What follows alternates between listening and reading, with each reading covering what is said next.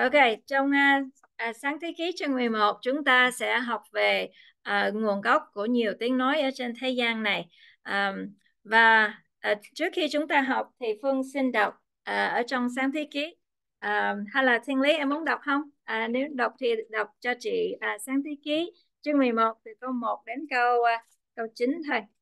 Uh, sáng thế ký từ uh, uh, chương 9 từ câu 1 đến câu uh, actually à, không phải 9 à, chương 11 từ câu 1 cho đến câu à, 9 ok. Ok xin bước lên đây. Ừ, bước lên đây dạ, Xin được phép đọc trong uh, Kinh Thánh sách Sáng Thế Ký đoạn 11 từ câu 1 đến câu 9 nói về tháp ba bên. Và cả thiên hạ đều có một giọng nói và một thứ tiếng nhưng khi ở đông phương dời đi người ta gặp một đồng bằng trong xứ Sinea, rồi ở tại đó. Người này nói với người kia rằng, Hè, chúng ta hãy làm gạch và hầm trong lửa. Lúc đó gạch thế cho đá, còn chai thế cho hồ. Lại nói rằng, nào chúng ta hãy xây một cái thành và dựng lên một cái tháp chót cao đến tận trời.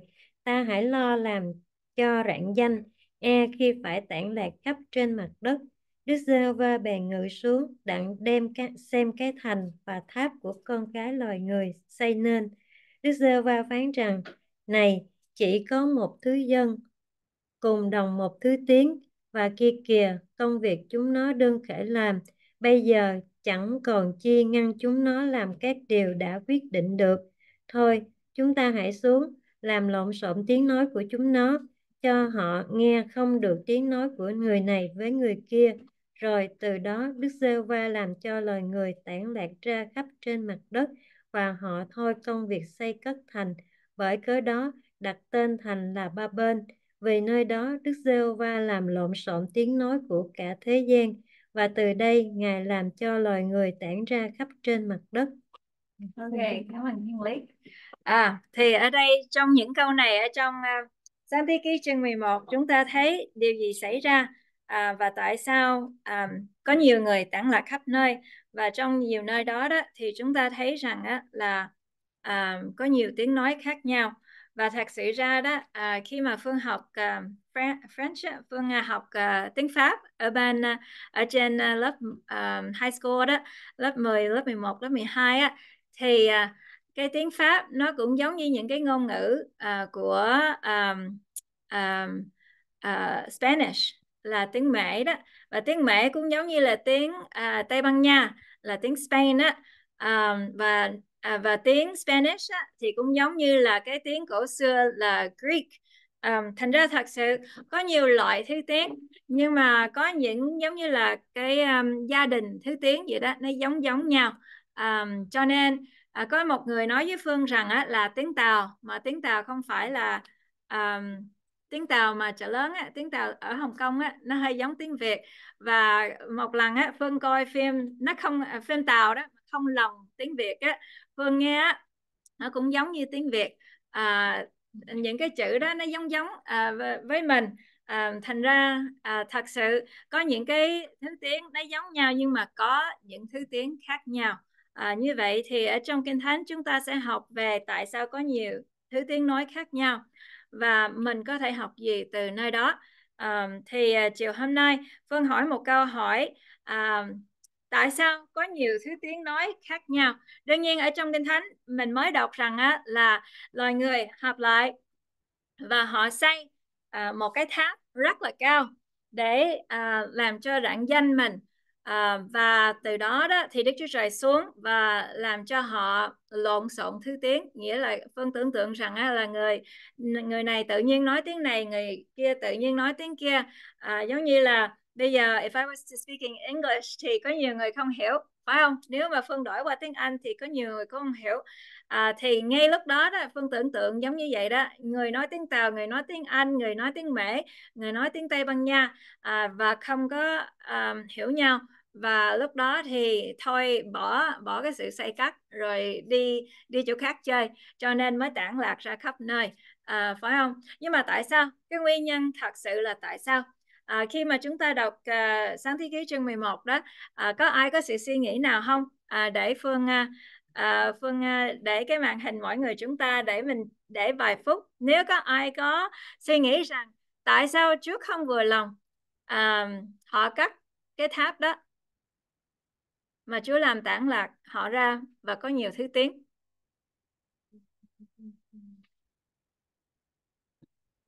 Tại sao? Cắt một cái thành á tôi nghĩ không phải là điều xấu.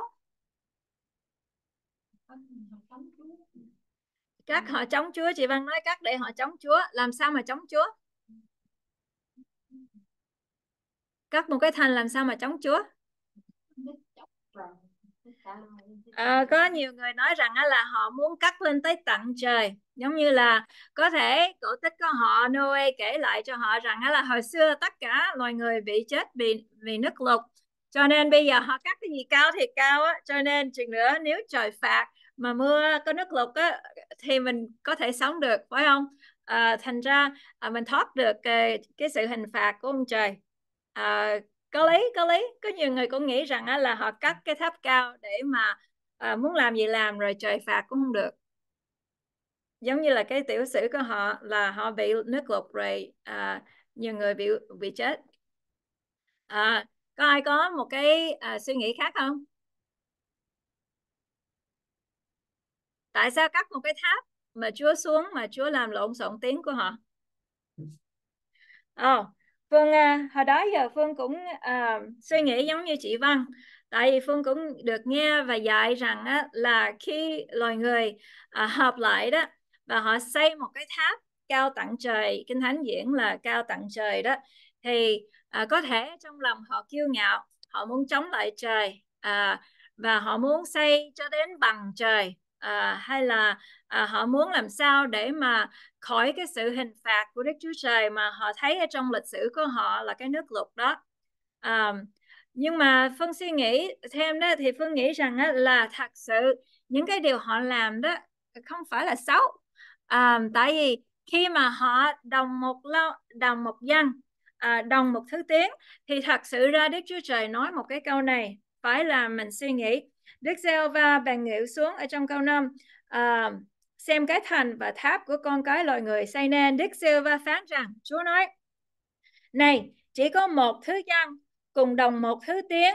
Và kia kìa công việc chúng nó đương khởi làm bây giờ chẳng còn chi ngăn chúng nó làm các điều đã quyết định được.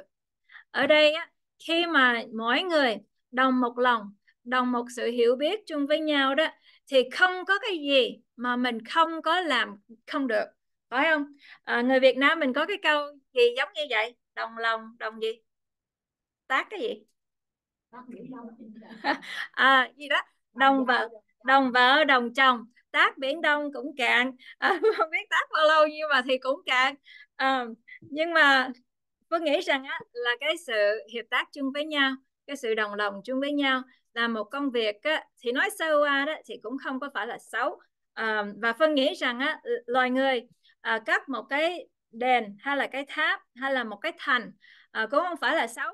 Bây giờ nhiều người đó à, ở quê á, thì cũng phải tìm lên thành để tìm việc làm phải không? Và thành thị đó à, là một nơi mà ảnh hưởng một cả một cái nước. Hồi xưa những giáo sĩ đó họ đi họ gửi những người giáo sĩ đi truyền đạo tin lành cho những cái nơi khỉ ho cò gái hẻo lánh. Nhưng mà có những cái người mà ảnh hưởng lớn nhất cho Đức Chúa Trời đó họ đi ngay cái thành thành đô thị. À, những cái thành đô thị đó có triệu triệu người. Và khi mà mình ảnh hưởng được cái thành phố lớn thì tất cả những cái vùng xung, xung quanh được ảnh hưởng. Tại vì sao? Tại vì những tổng thống những nhà cầm quyền những người thương mại những người làm business là những cái người ảnh hưởng cả một cái đế quốc ảnh hưởng cả một cái kinh tế. Họ thường thường ở đâu? Khí ho cò gái hả? Không hả? Thủ đô. Thành ra cắt một cái thành à, hiệp lại chung với nhau cắt một cái thành hay là đô thị đó. À, phân nghĩ cũng không phải thật sự là xấu. À, thành ra và cái điều mà Chúa nói rằng là nếu mà họ hiệp tâm hiệp lực chung với nhau không có cái gì mà họ không làm được đó thật sự cũng không phải là xấu. Như vậy thì tại sao uh, Chúa ngăn trở họ và Chúa làm lộn xộn tiếng nói của họ? À, thì Phương uh, nghiên cứu thêm và một điều mình biết rằng á là uh, trong kinh thánh từ sáng thế ký cho đến uh, sáng thế ký uh, đoạn 3 cho đến đoạn 11 đó à, nhiều lần rồi. À, từ khi mà Adam với Eva ờ, phạm tội đó thì khi mà Đức Chúa Trời nhìn xuống con loài người đó thì à, không có cái gì thật sự là tốt. Nhìn bề ngoài thì chúng ta thấy là không có cái gì sai. À, cắt một cái đô thành hiệp nhau hiệp tâm hiệp lực à, và cắt lên tận trời thì cũng không phải là cái gì sai. Nhưng mà khi mà mình nhìn phía sau đó mình thấy là có cái gì đó chắc không phải là đúng và cũng không phải là tốt. À, những cái câu mà Phương nói là trong sáng thế ký à, đoạn đoạn 6 chương à, đoạn 6 câu 5 à, là trước khi mà Chúa hủy diệt đất đầu tiên đó thì trong sáng thế ký à, đoạn 6 câu 5 nói rằng Đức Silva thấy sự hung ác của loài người trên mặt đất rất nhiều và các ý tưởng của lòng họ chỉ là xấu luôn. À, ở đây nói rằng á, là à, có nhiều chữ các ý tưởng của lòng họ chỉ là nghĩa là không có cái gì tốt á. Thành ra con nghĩ rằng á, là có thể có những cái điều gì không tốt uh, trong cái sự xây cất cái thành đó. Nhưng mà mình phải tìm hiểu rằng á, là cái đó là cái gì? Để làm sao?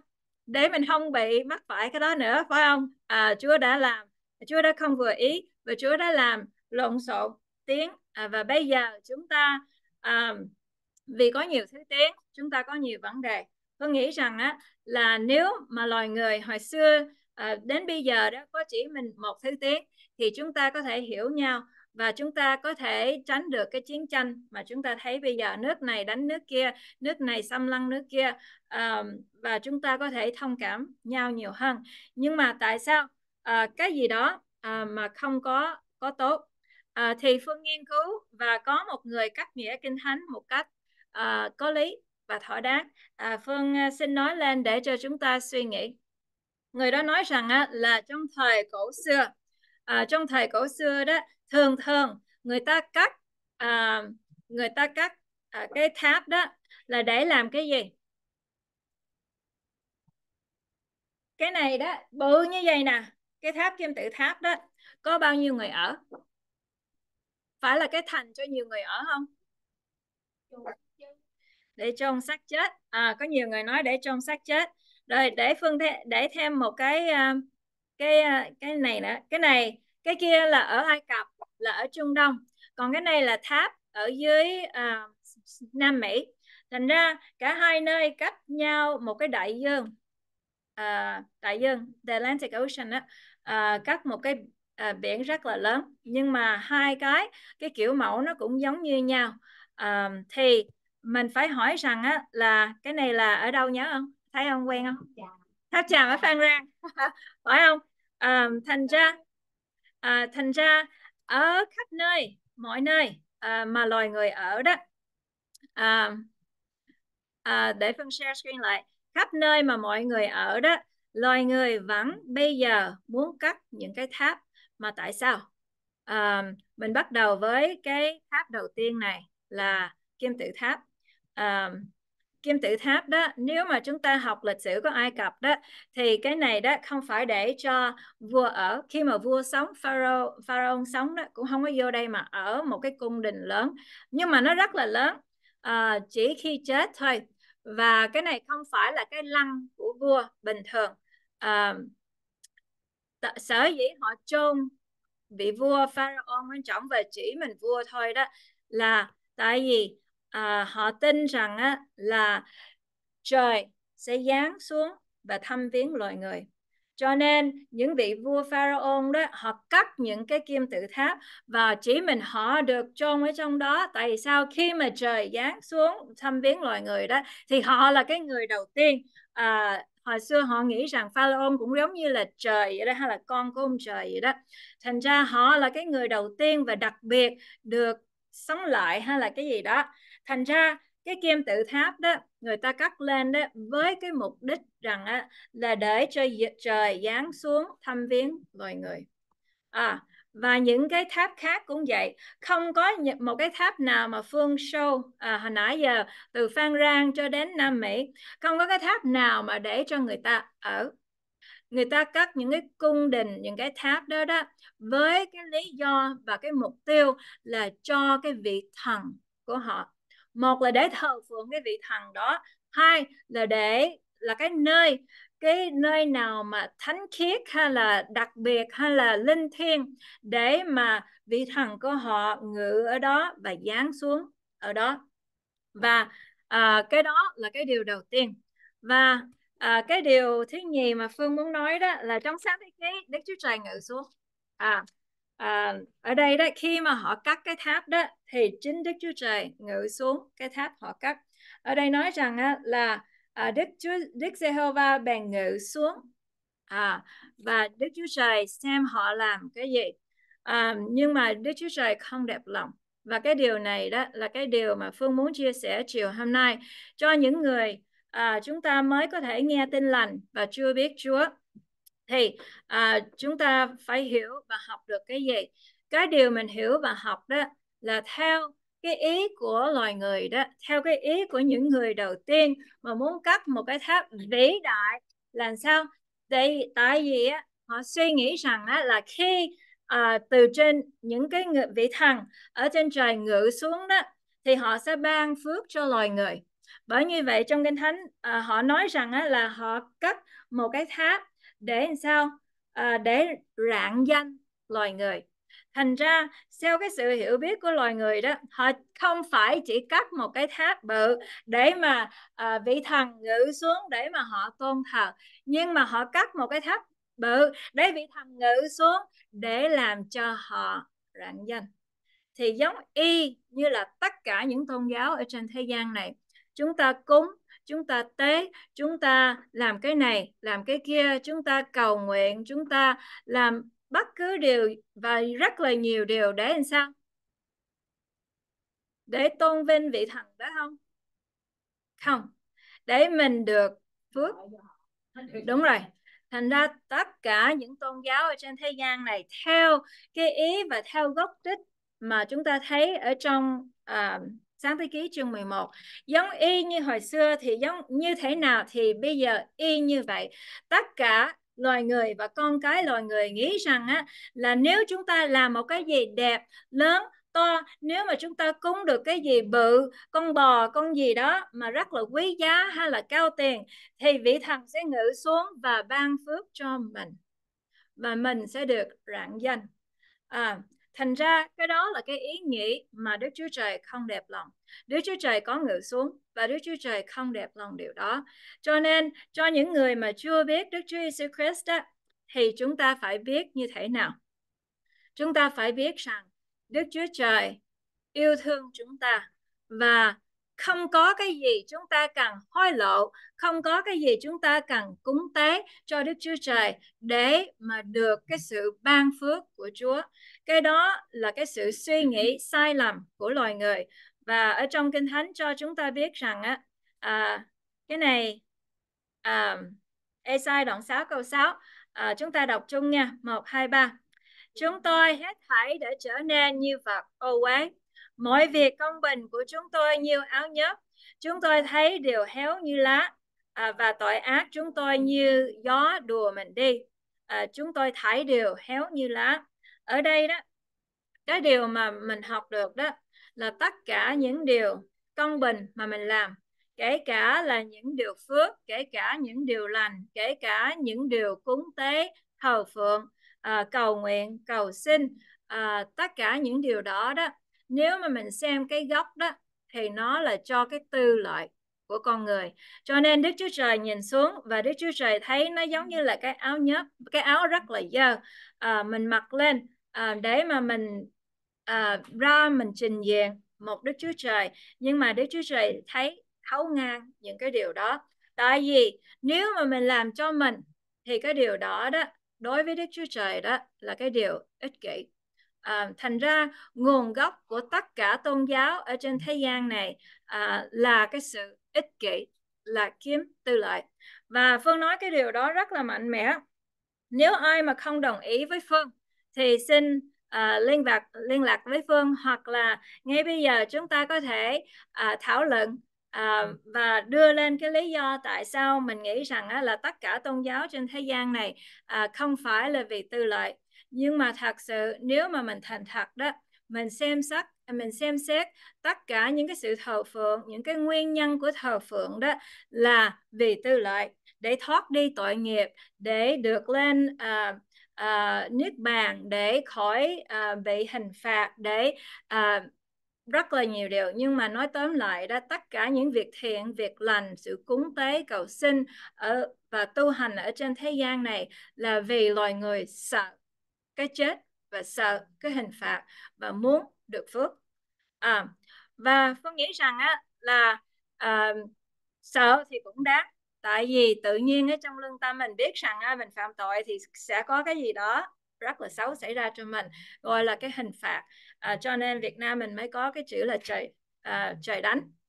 À, nhưng mà đối với Đức Chúa Trời thì chúng ta nên biết rằng Đức Chúa Trời yêu thương chúng ta. Đức Chúa Trời dựng nên chúng ta. Đức Chúa Trời không à, muốn cho chúng ta suy nghĩ như là cái cách như vậy rằng á, là mình sẽ uh, dâng lên một cái gì đó để được cái sự uh, cứu rỗi hay là dâng lên cái gì đó để được um, uh, cái uh, cái thoát khỏi cái sự hình phạt của mình. Tại vì uh, giống như là những cái điều mà mình làm đó nó không có đáng uh, không có đáng và không có đủ để mà cứu tự cứu mình.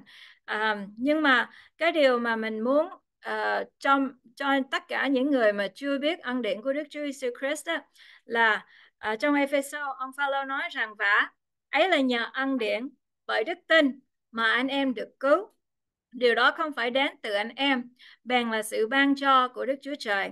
Ấy chẳng phải bởi việc làm đâu, hầu cho không ai khoe mình. À, cái người tin Chúa thật sự đó biết rằng á, là mình làm điều lành và Phương không à, mình làm điều lành á, à, là tại vì mình được cứu chứ không phải mình làm điều lành để cho mình được cứu. À, và Phương à, Phương nói những điều hồi nãy đó nhiều người hiểu lầm rằng là ô như vậy những người tin Chúa khỏi cần làm điều lành phải không? Chúa yêu thương mình Chúa tha thứ mình. À, nhưng mà không những người tin Chúa vẫn làm điều lành và làm hơn mọi người. Tại vì sao?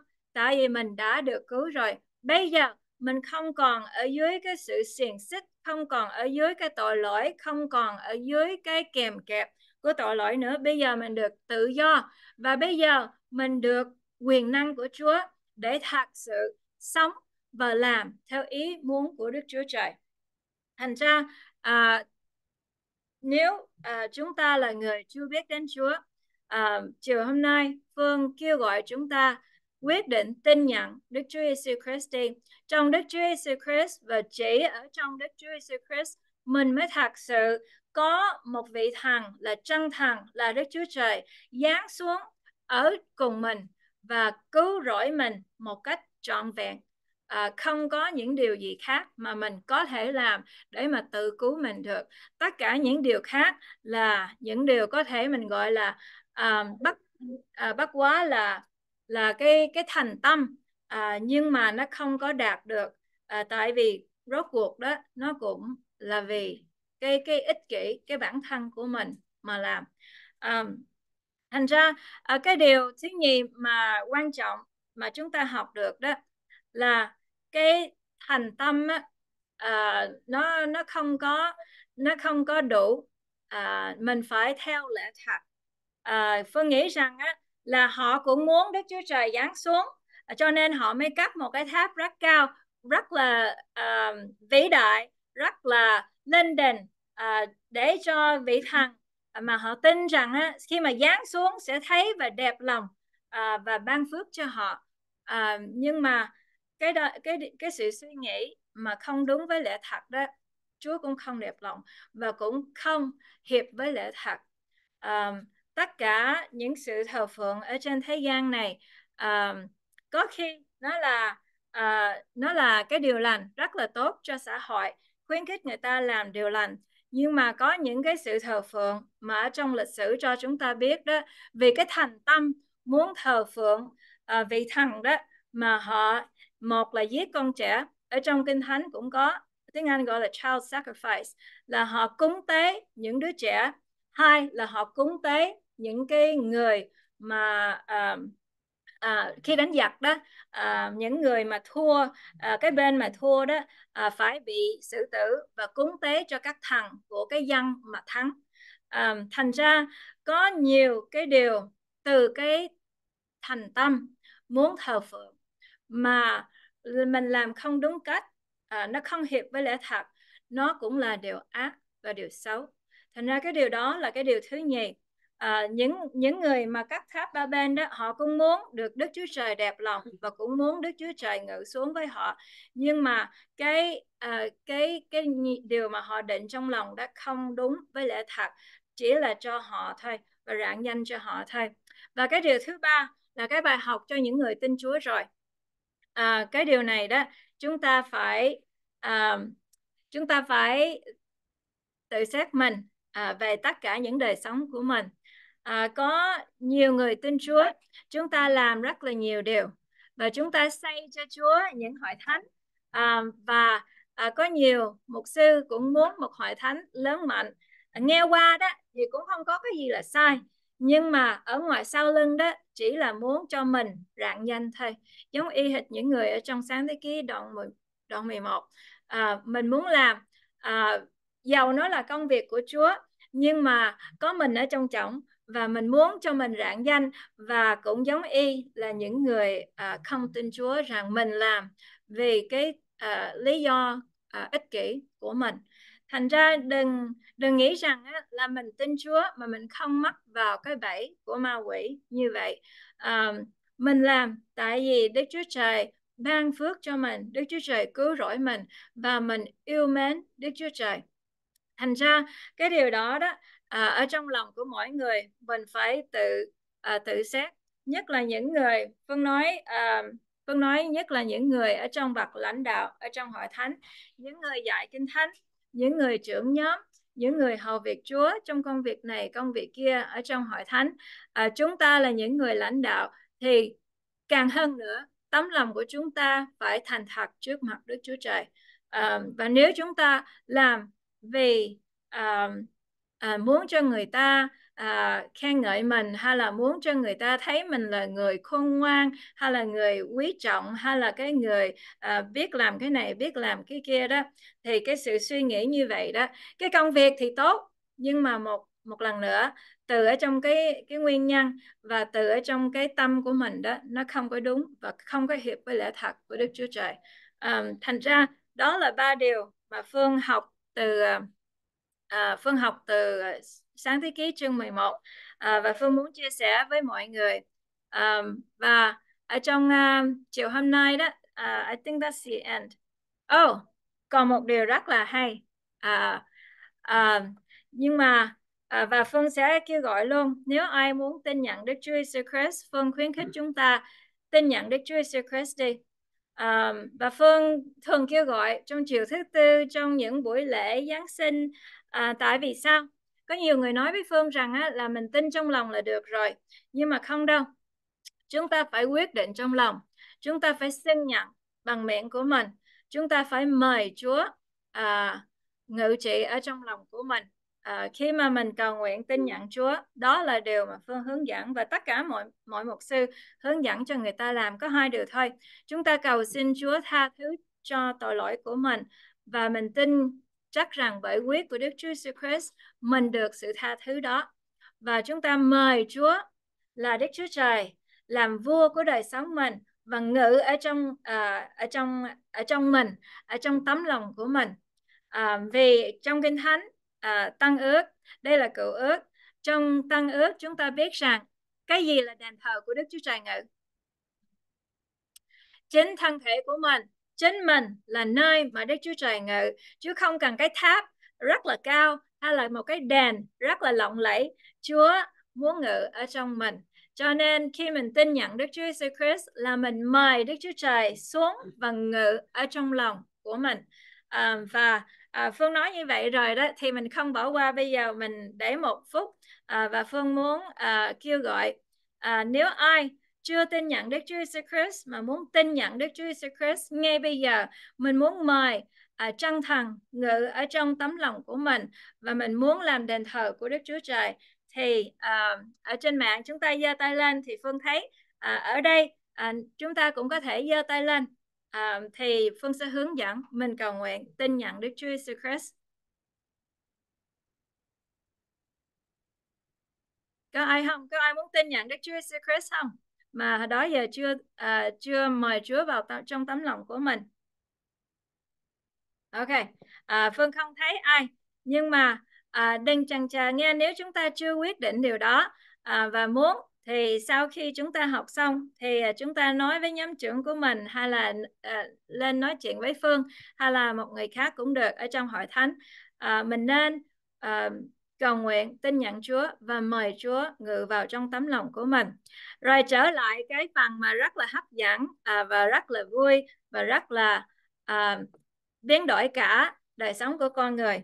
À, thì ở trong à, ở trong à, ở trong à, sáng thế ký chương 11 tất cả loài người bị chia rẽ với những tiếng khác nhau à, và họ ngưng làm công việc. Thật sự ra Đức Chúa Trời nói là đúng. Nếu mà họ cùng một à, à, tâm à, cùng một tiếng nói à, cùng một lòng mà làm thì không có cái gì mà loài người làm không được. Nhưng mà Đức Chúa Trời ngăn cản họ tại vì cái lương tâm cái ý chỉ và cái phương pháp của họ làm là sai với lẽ thật và nó là ác. À, cho nên Chúa ngưng cái điều đó. Nhưng mà khi Đức Chúa Jesus Christ đến và Ngài chết trên thập tự giá và Ngài đi về trời các sứ đồ nói rằng á, là Chúa ơi à, tại sao Ngài phải đi nhưng mà Chúa nói rằng á, là nếu ta không đi thì cái gì không xảy ra thần yên ủi sẽ không được ban ra cho các ngươi. Trong những hội thánh đầu tiên, khi Đức Chúa Giêsu Christ đi về trời rồi, họ có một mình thôi. Và Đức Chúa Giêsu Christ nói các ngươi phải đợi ở đây cho đến khi nào Đức Thánh Linh giáng ở trên các ngươi thì các ngươi sẽ nhận lãnh quyền phép của Đức Chúa Trời và đi làm chứng về Chúa. Và khi mà họ nhận lãnh à, Đức Thánh Linh, khi Đức Thánh Linh giáng xuống thì họ nhận được cái gì? Tất cả 120 người đã nhận được cái gì? Nhận được quyền phép hả? Còn cái gì nữa? Ờ, à, hai nhận được một tiếng mới. Ok, à, có nhiều người e thẹn không dám nói. Để Phương nói cho. Ờ, à, hai nhận được cái tiếng mới. Ở trong uh, ở trong uh, công vụ các sứ đồ đoạn 2 à, để Phương đọc cái gì xảy ra à, khi Đức Thánh Linh giáng xuống à, thì cái điều mà trong sáng thế ký chương 11 người ta mong mỏi cắt một cái tháp cao à, để mà lên đền đó à, để mà thần à, ngự xuống đó thì ở trong công vụ các sứ đồ vì Đức Chúa Jesus Christ chết và đi về trời và làm xong công việc cứu rỗi loài người và chúng ta được hiệp một với Đức Chúa Trời một lần nữa thì cái điều gì xảy ra? Phân đọc ở trong công vụ các sứ đồ. Đến ngày đoạn 2 đến ngày lễ ngũ tuần môn đồ nhóm họp tại một chỗ thình lình có tiếng từ trên à, đèn à, từ trời đến như tiếng gió thổi ào ào đầy khắp nhà môn đồ ngồi các môn đồ thấy lưỡi rời rạc từng cái một là cái lưỡi của họ đó. À, như lưỡi như lưỡi bằng lửa hiện ra đậu trên mỗi người trong bọn mình. Hết thảy đều được đầy dậy đức thánh linh. Khởi sự nói các thứ tiếng khác theo như đức thánh linh cho mình nói. À, khi mà đức thánh linh giáng ở trên loài người và đức chúa Jesus Christ một lần và một lần đủ cả ban cho đức thánh linh ngự xuống và ở cùng loài người. À, một cách một cách vĩnh viễn đó thì chúng ta được một tiếng mới. Và trong cái tiếng mới này đó chúng ta một lần nữa có sự hiệp một. Và chúng ta khi mà hiệp một được, được rồi đó thì không có cái gì mà ngăn cản chúng ta làm bất cứ điều gì ở trên đất. Và bây giờ chúng ta không làm những điều sai à, nghịch cùng Đức Chúa Trời chúng ta không có làm theo cái lương tâm à, hay là cái thành tâm mà sai với lẽ thật. Chúng ta làm đúng 100% theo sự hướng dẫn của Đức Thánh Linh là Đức Chúa Trời. Cho nên ở trong à, Ephesos đoạn 4 câu 3 nói rằng á, là ông Phaolô nói rằng á, là chúng ta dùng dây hòa bình mà giữ sự hiệp một của ai?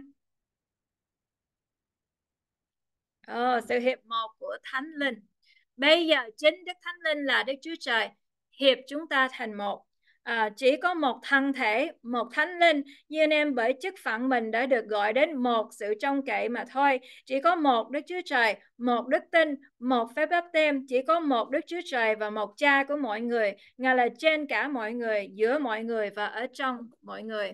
Bây giờ là cái thời ăn điển là cái thời mà đức chúa trời giáng xuống loài người là đức thánh linh, ngự ở trong tất cả đền thờ của Chúa, là những con cái của Chúa tin nhận Đức Chúa Jesus Christ. Và chúng ta được một tiếng mới. Và tiếng mới này không chia rẽ chúng ta, nhưng mà hiệp một tất cả mà có ai mà có Đức Thánh Linh, chúng ta được hiệp một chung với nhau. Và những công việc mà Đức Chúa Jesus Christ giao phó cho mình làm, không ai ngăn cản mình hết.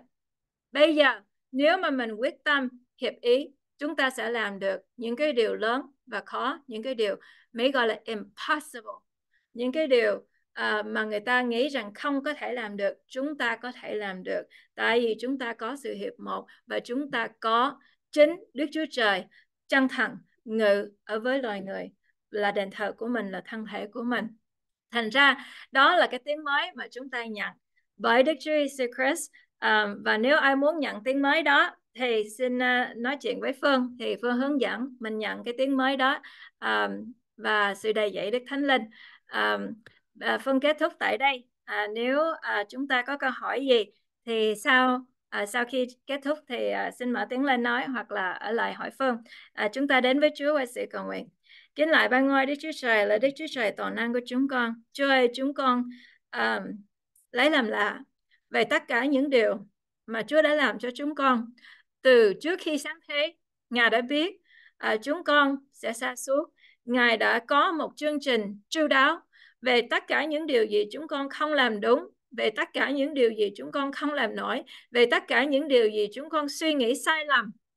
Chúa đã à, ban cho chúng con lẽ thật, Chúa đã đưa chúng con đến sự công bình, Chúa đã đưa chúng con đến sự cứu chuộc, Chúa đã đưa đến cho chúng con sự phục hồi trọn vẹn của tất cả những gì đã bị mất. Chúa ơi, chúng con cảm tạ Chúa vì trong danh Đức Chúa Jesus Christ, chúng con được phục hồi một cách trọn vẹn. Chúng con được xưng công bình, chúng con được nên thánh và chúng con được ban cho quyền phép để làm nên công việc tốt lành của Ngài mà Chúa dựng chúng con nên để làm Chúa ơi một cách không bị ngăn cản à, Chúa ơi chúng con cảm tạ Chúa Đức Thánh Linh xin Ngài à, in sâu ở trong tất cả những tấm lòng của mọi người ở trên mạng cũng như tại đây à, ân huệ của Chúa và đặt sự khao khát à, về Chúa ở trong mỗi tấm lòng của chúng con để chúng con bước đi một cách mạnh mẽ và chúng con à, tìm kiếm Chúa và chúng con tìm kiếm Chúa một cách hết lòng thì chúng con biết rằng chúng con sẽ gặp Chúa à, một cách trọn vẹn. Chúa ơi à, và chúng con sẽ thấy sự hiện diện của Chúa ở trong chính đời sống của chúng con và lẽ thật của Ngài sẽ trôi chảy qua đời sống của chúng con và môi miệng của chúng con. Chúng con cảm ơn Chúa chúng con có bấy nhiêu lời cầu xin trong danh Đức Chúa Jesus Christ. Amen. Ok, cảm ơn tất cả mọi người cảm ơn mục sư Dạ.